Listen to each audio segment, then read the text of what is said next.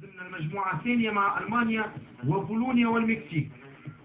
تونس ضد المكسيك أول فوز عربي وإفريقي 3-1 لكن هزيمة ضد بولونيا وتعادل ضد ألمانيا. رغم هذه النتائج الإيجابية في أول مشاركة تونس تغادر منذ الدور الأول. بعد 20 عام وصول قرطاج في المونديال مرة أخرى. ثاني مشاركة تأتي في فرنسا 98 المنتخب التونسي يكتفي بنقطة فقط بعد تعادل ضد رومانيا وهزيمتين ضد إنجلترا وكولومبيا.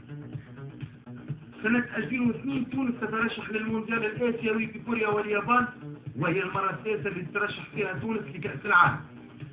المنتخب التونسي في مجموعة ضمت منظمة الدورة اليابان إلى جانب بلجيكا وروسيا. مرة أخرى يكتفي المنتخب بتعادل ونقطة فقط ضد بلجيكا مع هزيمتين ضد روسيا واليابان والانسحاب منذ الدور الأول. بعد أربع سنوات للمرة الثالثة على التوالي والرابعة في تاريخ كرة القدم التونسية نصور قرطاج في مونديال ألمانيا 2006 الرحلة تبدأ اليوم ضد منتخب عربي والسعودية. التاريخ والأرقام يقولون أن المنتخب التونسي حقق فوز فقط يعود إلى سنة 1978 بالأرجنتين. نصور قرطاج يدخلون مغامرة ألمانيا بطموح كبير وبعزم أكبر حتى يكون الانتصار الثاني اليوم.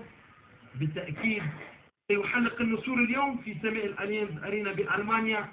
حظ سعيد لتونس.